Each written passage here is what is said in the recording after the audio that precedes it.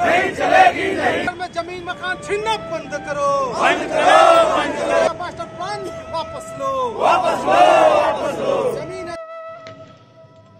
आजमगढ़ में अंतर्राष्ट्रीय एयरपोर्ट के विस्तारीकरण के नाम पर कुछ गाँवों के चिन्हित गाँवों की ज़मीन मकान को ध्वस्त करने के मामले में किसानों सहित नेताओं का धरना प्रदर्शन दिन प्रतिदिन तूल पकड़ता ही जा रहा है।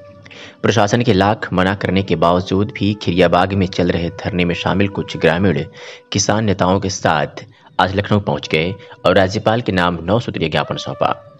ज्ञापन में क्या मांग उठाई, उसको हम आपको बताएँगे, लेकिन किसान नेता राजीव यादव की पहले इस बात को सुनिए। जय किसान। साथियों, संयुक्त किसान मोर्चा ने आह्वान किया है कि कल राजभवन मार्च करेंगे। खिरियाबाग आंदोलन के लोगों ने भी अपने सवाल को उठाने के लिए, वहाँ पर उस मार्च में शामिल होने के लिए हमने भी ऐलान किया है।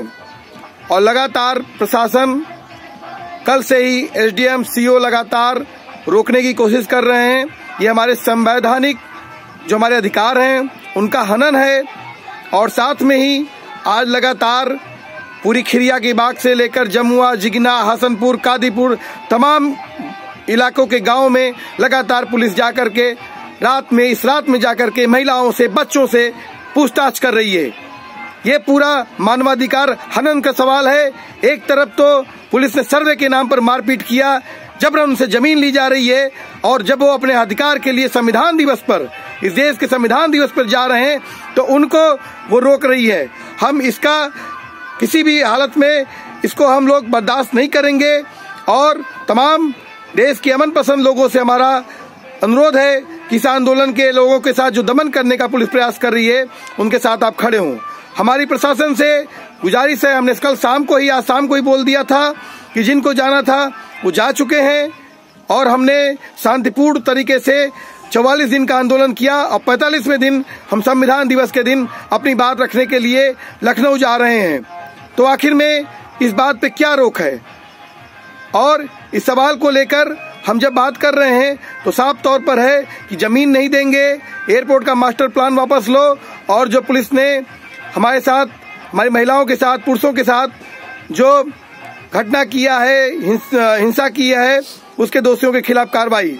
इन सभी मांगों को उठाने के लिए हम जा रहे हैं। अगर पुलिस प्रशासन इसको रोक रहा है मतलब ये बात है कि आप चाहते हैं कि ये सवाल आजमगढ़ से बाहर न जाए। तो आखिर में जब ये सवाल आजमगढ़ से बाहर नहीं जाना आप चाहते हैं तो आखिर में आप ग्रामीणों के साथ इस तरह का बर्बर बर्ताव क्यों करते हैं? हमारी फिर से सरकार से अनुरोध है कि वो आंदोलन से कुचलने से ज़्यादा अगर इस बात पे वो गंभीरता से 45 दिन में ध्यान देती कि इस ग्रामीणों की मांग है कि एयरपोर्ट का मास्टर प्लान वापस ले, और अगर वो मास्टर प्लान वापस लेती तो शायद इस क्षेत्र के लोगों को आंदोलित नहीं होना पड़ता। लेकिन आज आंदोलित किसानों मजदूरों पर जिस तरीके से रात में जाकर के उनसे पूछताछ की जा रही है, ये मानवाधिकार हनन का सवाल है, और इसको किसी भी हालत में हम लोग हर हालत में कल राजभवन पर भी उठाएँगे, और आप इस आंदोलन का समर्थन करें।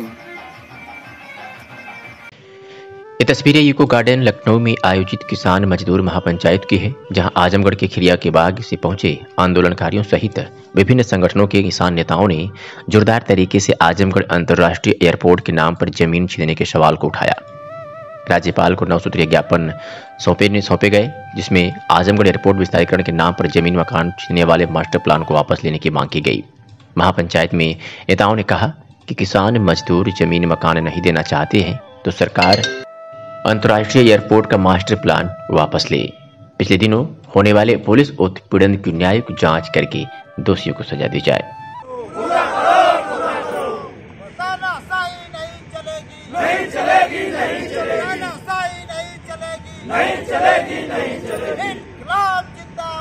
जिंदाबाद जिंदाबाद जिंदाबाद जिंदाबाद जिंदाबाद जिंदाबाद संविधान दिवस जिंदाबाद जिंदाबाद जिंदाबाद जय जवान जय किसान जय जवान जय किसान जय जवान जय किसान जय जवान जय किसान ज़मीन मकान छीनना बंद करो बंद करो एयरपोर्ट विस्तार के नाम पे आजमगढ़ में ज़मीन मकान छीनना बंद करो। बंद करो बंद करो। एयरपोर्ट के विस्तार के नाम पे ज़मीन मकान छीनना बंद करो। बंद करो बंद करो। ग्रामवासियों के घर गाँव ज़मीन को छीनना बंद करो। बंद करो बंद करो। आजमगढ़ का एयरपोर्ट का मास्टर प्लान वापस लो। वापस लो वापस लो। ज़मीन आंदोलनकारियों को राजभवन मार्च शामिल होने से रोकने की कड़ी निंदा करते हुए इसे संविधान दिवस पर अभिव्यक्ति की आज़ादी पर हमला बताया गया।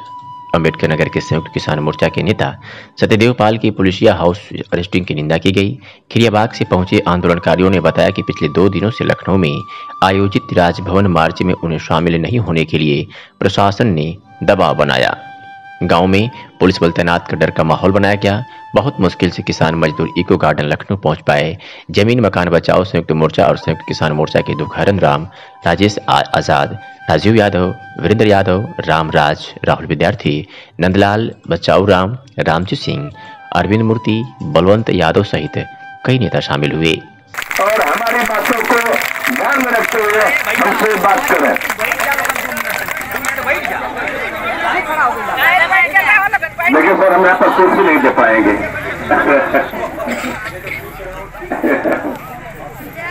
जी हाँ है आप आप आप तो कुछ नहीं गर्म पहने हम तो फिर भी पहने हैं।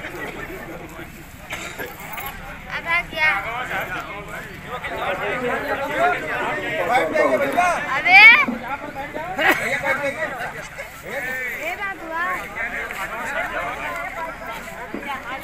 कृपया आप सभी थोड़ा शांत रहेंगे और अपने अपने स्थान को ले लें। अगर सर लोग बात करने के लिए आए हुए तो आप लोग अगर खामोशी देंगे तो आप सुन भी पाएँगे कि क्या बात कर रहे हैं। किसान फ्रंट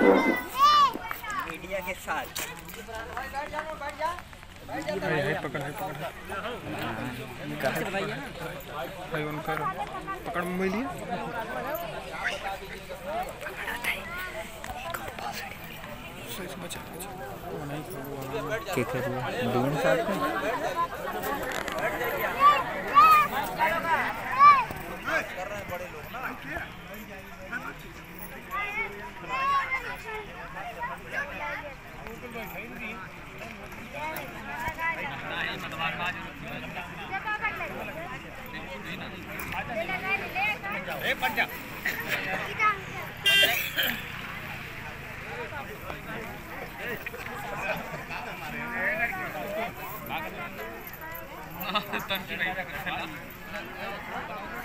इस खबर को लेकर आपकी क्या प्रतिक्रिया है? वो कमेंट सेक्शन में ज़रूर बताइएगा। वीडियो पसंद आई हो तो लाइक कर दीजिएगा। चैनल को सब्सक्राइब कर लीजिएगा और बेल आइकन को ज़रूर प्रेस कर लीजिएगा ताकि इस तरह की मंदुरी एयरपोर्ट से जुड़ी लेटेस्ट अपडेट आपकी मोबाइल पर आसानी से मिल सके।